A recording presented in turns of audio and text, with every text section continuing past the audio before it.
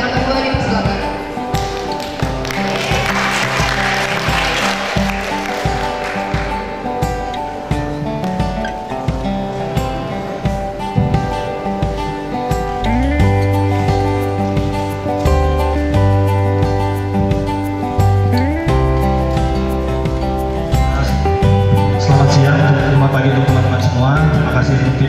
kontra dari Universitas Brawijaya dan tim pro dari Universitas Pajajaran. Saya akan menyampaikan beberapa bantahan saya, bantahan dari tim kami untuk tim dari kontra.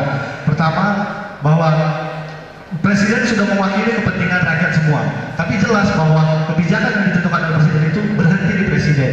Sedangkan bila kita mem- mewakili mekanisme pemilihan langsung dari rakyat, rakyat bisa mengeksekusi lebih jauh karena adalah menteri, adalah orang-orang yang mengeksekusi kebijakan teknis. Sedangkan yang kalian bilang bahwa kebijakan tersebut suara rakyat hanya berhenti di presiden. Itu yang pertama. Kedua, masalah transaksi politik antar masyarakat. Ini saya bingung. Wadah antar masyarakat itu siapa? Apakah masyarakat Indonesia itu 250 juta? Bayangkan kalau bertransaksi semua. Jadi jelas bahwa transaksi politik masyarakat itu hal yang ambigu. Lalu yang ketiga, masalah biaya yang besar. Kita tahu bahwa negara tidak tidak apa-apa untuk membeli- me- mengeluarkan biaya yang besar untuk sebuah terobosan. Selalu ngomongin soal dana. Indonesia punya banyak dana seperti itu. Lalu bantahan saya yang keempat, mungkin teman-teman dari tim pro belum pernah mengikuti eh, kegiatan melihat bagaimana fit and proper test tersebut. Mereka mendefinisikan bahwa fit and proper test hanya sebatas administratif dan jasmani dan se- sebagainya. Apakah mereka tidak melihat bahwa saat fit and proper test sang calon itu ditanyain, ditanyain tentang segala hal-hal yang berkaitan dengan kemampuannya. Apakah parlemen atau seperti apa seperti itu? Jadi jelas pendefinisian fit and proper test dari tim pro jelas salah. Lalu men- menggeneralisir argumentasi yang kelima menggeneralisir Siti Nurbaya Bakar sebagai itu jelas hak prerogatif itu. Tapi kan proporsionalnya parpol masih lebih banyak dan kalian hanya memberikan satu contoh seperti itu. Jadi jelas bahwa eh, argumen-argumen yang mereka sampaikan itu kurang tepat dan tidak tajam.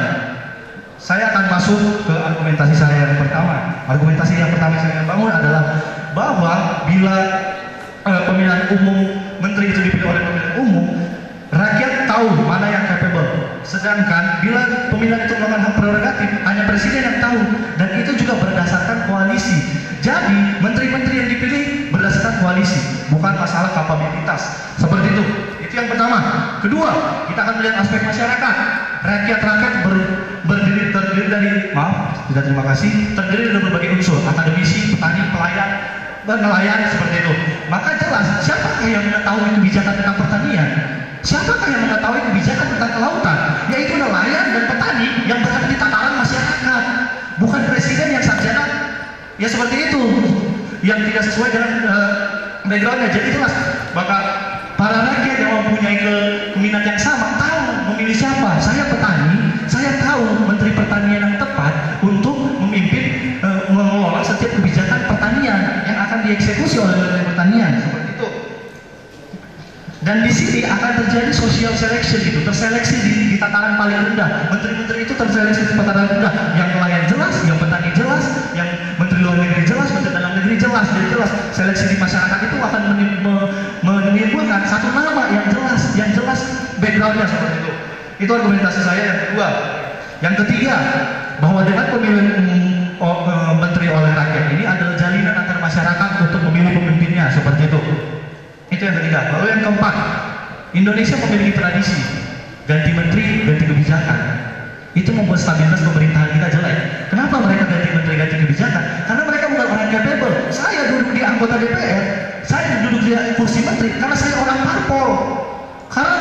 Bukan saya orang orang sarjana teknik yang mengemban teknik Jadi jelas banyak, banyak menteri-menteri yang diganti karena mereka nggak ngerti job desk-nya apa. Mereka ditugasin oleh parpol, bukan dan mereka melacurkan ide, ide melacurkan identitas mereka sebagai seorang pa- partai politik politisi seperti itu. Mereka tidak bukanlah akademisi yang mengerti bagaimana tataran-tataran praktis tentang kebijakan-kebijakan yang ada di pemerintahan seperti itu. Eh, salah satu contohnya seperti yang dibilang pembicara pertama Dan Baldan yaitu sarjana hubungan internasional dari Unpad tapi menangani eh, tata ruang dan agraria. Maka dia berdiri sana bukan sebagai seorang menteri yang jago dalam agraria. Jelas dia orang hubungan internasional. Tapi kenapa? Dia berdiri di sana karena dia adalah orang Nasdem. Seperti itu itu. Jadi jelas bahwa transaksi politik ini harus dihilangkan. Dihilangkan dengan apa? Dengan pemilihan umum oleh masyarakat yang mengerti, yang yang jelas lebih representatif 250 juta orang yang akan mem- memilih orang-orang yang akan mengeksekusi kebijakan tersebut. Hmm. Lalu yang kelima, bahwa pemilihan umum ini memberikan kesempatan bagi masyarakat luas. Saya akan memberikan analogi. Saya seorang sarjana perminyakan dari ITB. Saya mengambil S2 di MIT. Tapi saya saya ingin berkontribusi menjadi seorang Dikti. Tapi saya tidak berpartai. Saya bingung ingin berkontribusi di mana. Siapa presiden. Itu kan jelas menghambat orang-orang yang capable. Seorang maaf juga terima kasih. Orang-orang yang capable dalam bidangnya tidak bisa mengeksekusi isi otaknya kepada pemerintah-pemerintah Indonesia. Karena saya idealis, saya tidak ingin berpartai. Tapi di sisi lain, saya ingin berkontribusi besar melalui keilmuan saya seperti itu.